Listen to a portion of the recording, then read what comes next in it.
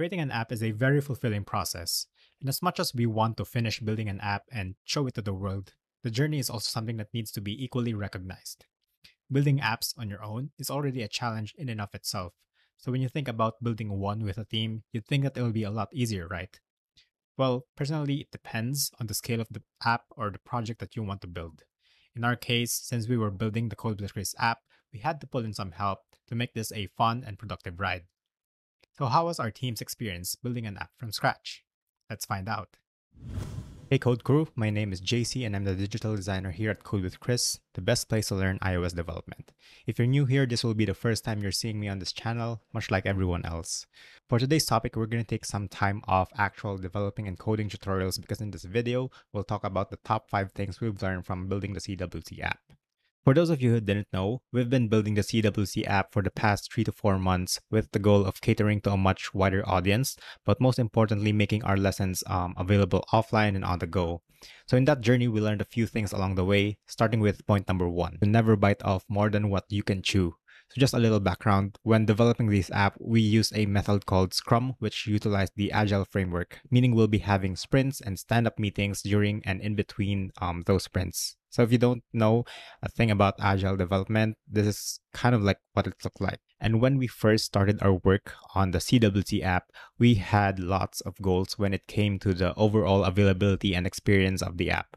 We planned on getting this out on iPhones, iPads, and even Mac OS until we realized that our team is only composed of three developers and one designer. So releasing it to multiple platforms would take so much time and resources which we didn't have. And the funny thing about this is that we realized this at the end of our second or third sprint. So during our first, we were really going big in terms of our workload. Don't get me wrong, we knew that we had a small team, but the mistake was that we were too ambitious when it came to what we needed to do, not considering the limited resources that we have. So by then, I already finished the designs for the iPhone, and so what's next on my list was to scale those designs for the iPad. And then the team got into talking and agreed that scaling something that isn't fully functional can be super risky. So we decided to just focus on mobile designs, refining them every week or every sprint, and adding features that would definitely improve the experience of the app. And that's like a top level scenario. A more specific example, I guess, would be that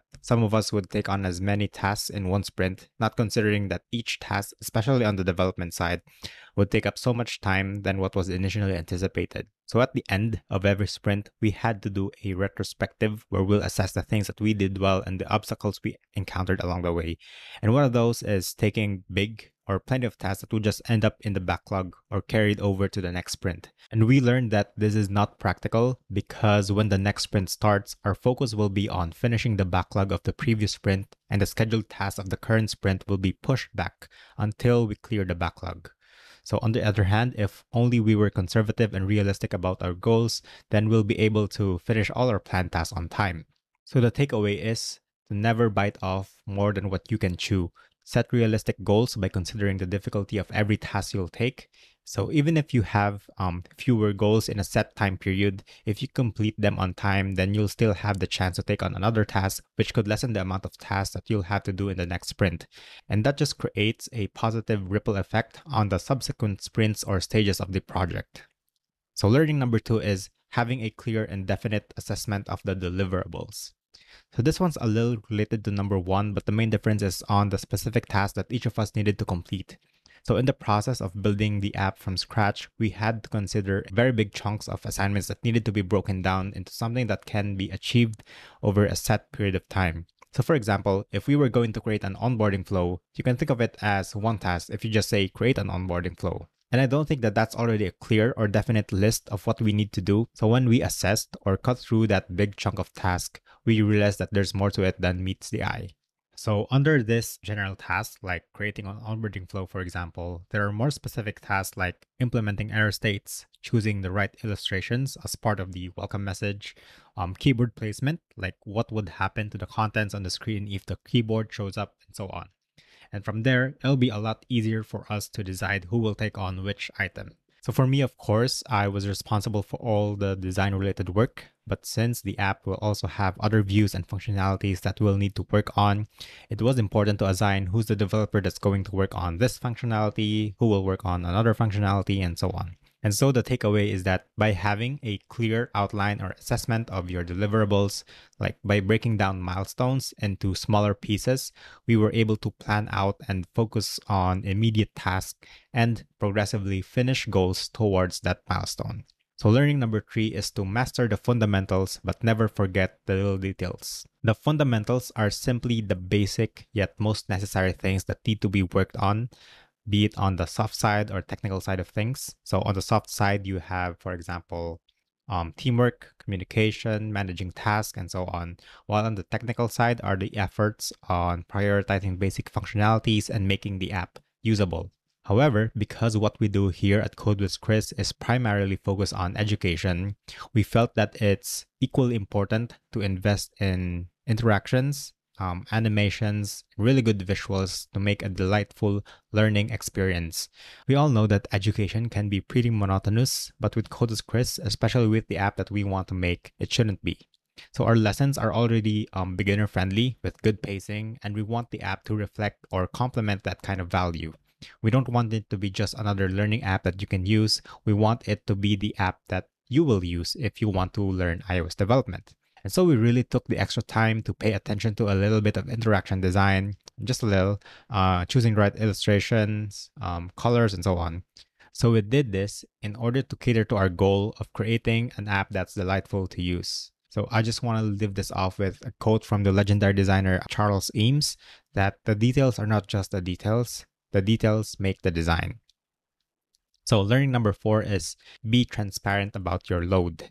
Since Chris and I also work on some areas outside the CWC app, like there's the content creation and the courses side of things, that meant that our time wasn't 100% dedicated to making the CWC app itself. And since we were working in a team, it was really important that other team members knew what our actual workload outside the CWC app project was because that way it'll also give them an idea of how much work to expect from us in a day or in a week. Because if we had the same amount of CWC app tasks as anyone else, chances are they'll be affected by other um, tasks outside the CWC app, which are in higher in priority. And if the rest of the team were expecting to finish these tasks in a given time frame and it didn't because of other factors that we weren't able to disclose, then that could snowball into a really big problem that could have been um, avoided if we had been transparent in the first place. Well, fortunately, this was one thing that we really did because we were aware of our limited resources. So we had to be transparent about expectations and other related stuff. And in your case, if ever you're going to build an app with a team, it's not just about the workload. You should also be transparent about some personal factors that will affect the work that you're doing. A good example for this is Jesse, our Scrum Master, had a problem or injury with his wrist, and so we had to take into account that he won't be able to work as intensively because of that injury. So we had to diversify the load to other developers and adjust some deadlines to minimize any delays or problems that could occur. At the end of the day, transparency is really important and will be really handy in whatever it is that you're doing. So last but not least is that perfection is the enemy of done. So a lot of tech and creative companies always say that perfection is the enemy of done because in a setting like this, app development or product development, like striving perfection is really inefficient. So when you think about it, in my case, if I kept on looking for mistakes and multiple feedback from the team regarding the designs, the app is never going to see the light of day. It's just going to get stuck in an endless round of revisions until every team member is satisfied. So why? Um, because everyone is trying to get every inch of the app right, presuming that we don't have to do or touch on these things again. And this is inefficient and ineffective in a lot of ways because app development or software development is an iterative process. It's always been and it always will be. So it's totally fine if it's not the best looking app in the first release. What's important is to nail the foundations like making the app usable, establishing a clear navigation, all those sort of things. It's also very counterproductive or for planning and development to take months when the end result will still require work anyway. You know, it's going to be really unfortunate if it did take us a year to make the app perfect in its first release and then work on updating it a week later.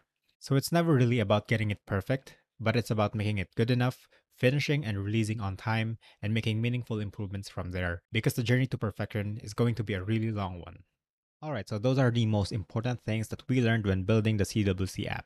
As of filming, the app is still currently in the works, so if you want to stay updated about its development, especially its release, make sure to like this video and subscribe to our weekly newsletter, or better yet, to our YouTube channel. And if this video sparked your interest in building your own app, then you're in luck because our free 14 day beginner challenge will be able to help you with just that.